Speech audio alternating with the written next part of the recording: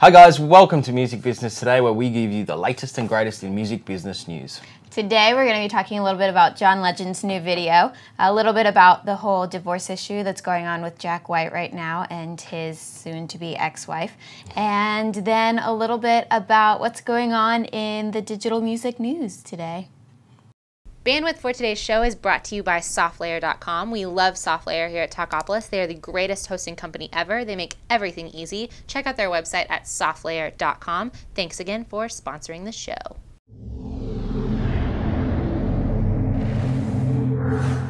Hi everyone, welcome back to Music Business Today. I am Hannah Renee. And I'm Kane Harrison, and we are going to start off with some John Legend news. Mm-hmm. Um, he's back, and he is has just released one of his film clips, which we'll uh, put a link up to. But Hannah and I just watched it off air, and it's incredibly saucy, Hannah. It's it's very saucy. It is, but it's, it's very Don't watch it with your children. No, it's very artistic at the same um, time. Yeah, I don't feel like it's offensive. No. In the way that it's done at all. It's no. very beautiful, very artistic. Very multicultural. There's a lot of skin. There is a lot of skin, but all combined together, and it's kind of really cool because they yeah. actually look like like a sculpture, and there's yeah. kind of like paint and all this sort of stuff running around them, and then they kind of explode, and then they sort of come back Don't together. Give away the video. Well, they still need. I mean, I'd never heard the song. They can still get on and see the song, but they need to get on and see the video. It's pretty cool. But um, it was directed by Daniel Sannwald, who mm-hmm. I hadn't heard of really before. I jumped on and had a look at some of his other stuff, and even his website is incredibly artsy, so you can see where those influences come yeah. from. Um, he also has his uh, John Legend. This is has his album coming out, which is called Love in the Future, which arrives on September second. So this is a really cool song. I didn't mind it. Like um, no, it was great yeah, it's kind of uh, kind of moody but kind of clubby at the same time. There's a, I can see how they come up with. I can see someone adding dubstep to it. Yeah, but I can absolutely see how they come up with the film clip because it's yeah. kind of is kind of sexy and sultry and it's, it's, it's hot. cool. I'm not going to deny it. It's hot for sure. Tell me about the biggest news in Nashville right now. Well, everyone knows Jack White and his wife, well, soon to be ex-wife, have been separated for a while. I think since 2011, I believe, is when they first said that they were getting a divorce. But now things are starting to get a little heated between the two of them. Uh, there was actually a restraining order that just got issued against Jack White by his wife. She said that she felt like he was an endangerment to her and the children. They yeah, it's kind of weird. This is really big news in Nashville right now, obviously, because mm-hmm. Jack White yeah. is smack bang in the center of Nashville, and everyone's very proud to have Jack White in Nashville because yeah. he's such an icon in the music industry.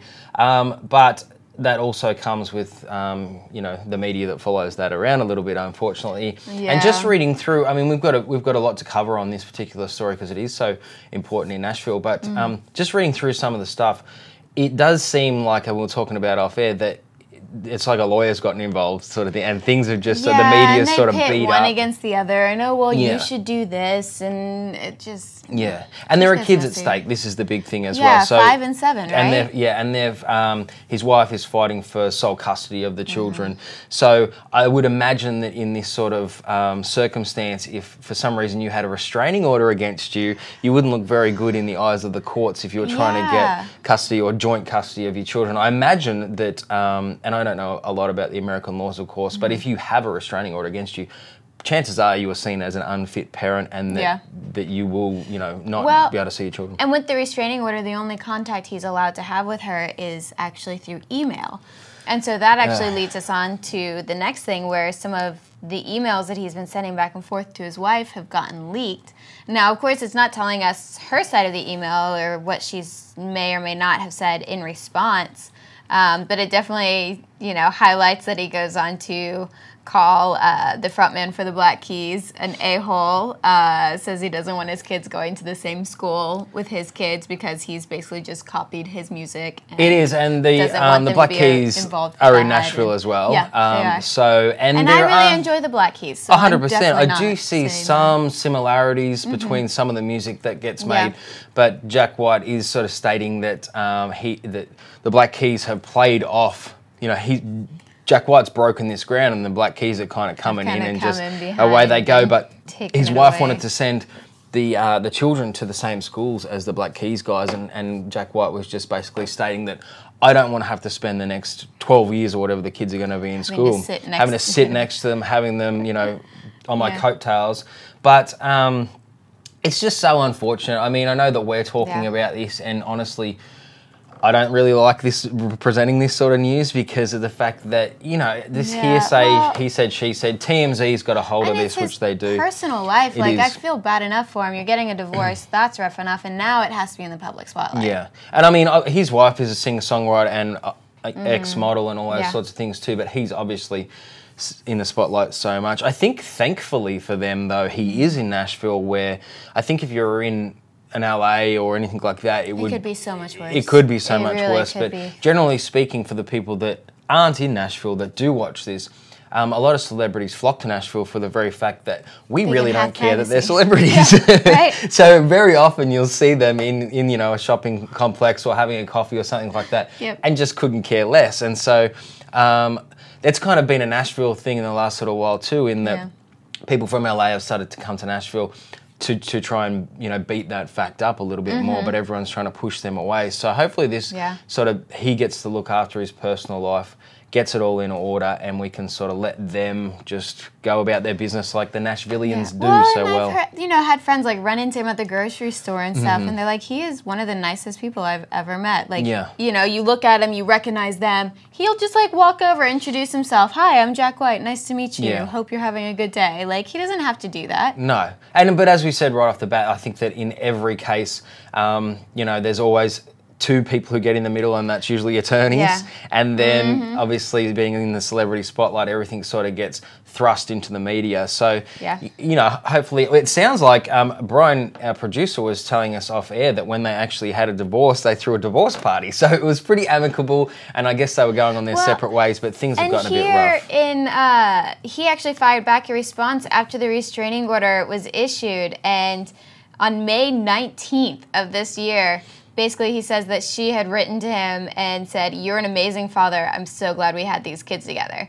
You know, but then she's gone and gotten a restraining order against Yeah. him, saying that he's unfit. So there's just a lot of Yeah, well, like I said, I think it does he sound said, like she yeah. There's a lot said, of middlemen in. This, and there's also, as we know, snippets of information get leaked to the media, and then everyone draws their conclusions on that. Yep. And usually it goes one Make way or the other. want it to be. And um, more often than not, you know, um, we side with the mother, which is is fine as well. But uh, Yeah. I think that it will not right. be the last we hear of it, and hopefully, at least um, we probably know that they're not going to get back together. But hopefully, they have some sort of family unit, and we just leave them alone. But Mm. yeah. um, I hope it all resolves peacefully. yeah, some more actually really tragic news from a music festival, which uh, we just seem to re- report way too often on this sort of stuff. And um, Camp Bestival, there was an explosion, which is in England, by the way. It's in a beautiful setting. It's like, Mm-hmm. if you've ever seen, you would have seen. Um, on all kinds of music videos, they go to a place called Slane Castle, Mm-hmm. which is just brilliant. It's very much like that. It's another castle, and they hold a music festival there. And uh, it has been reported that a gas bottle exploded inside someone's tent. And Yep. um, you know, one woman was they said had life changing injuries, and she was airlifted away. Another guy was seriously injured and taken to a local Mm. hospital. But um, gas explosions yeah. are not Well, she I guess was using like a gas cooker Yeah. and it was leaking, and then a gas cooker in like the tent next to those or Mm-hmm. something caused it to catch on fire Yeah. and explode. Like twenty percent of the tent that it was in was completely destroyed, and then part of the other tent was actually kind of Well, I imagine it just would have been horrific. Gas, like literally, um, you know, yeah. is so explosive that it just goes up Just and then kind of goes away. But I think gas, especially that bottled stuff, it explodes to a thousand times its size. So I mean, It's it's, so compressed. and yeah, and also you know, it's when they're in campgrounds, Yeah. it's just going to leak around. So well, and everyone else around responded really quickly, like mm-hmm. getting their fire extinguishers and stuff to put out the flame. And they said it was actually really, you know, invaluable what they did Yeah. because they actually put cooling water on the victims to help stop the burning and stuff. I imagine it's pretty horrific, as they say. All they Yeah. reported was life-changing injuries, but excuse me. But um, it was, by all reports, you know, generally it is a great festival to go to. As I said, it's absolute. The grounds are absolutely beautiful at this castle, and um, they, the festival organisers, had reported that that you know it was a tragic Yeah. accident, and that you know that for the camp. Um, for people who are camping at those festivals all around the world, need to just take a little bit just more be care. more aware Yeah. of what's going on. Um, well, here's a question for you guys: album sales through Groupon, desperate or smart move for the artist? Um, Yeah. There's actually been Ciara, I believe Ciara. Ciara, yeah. yeah.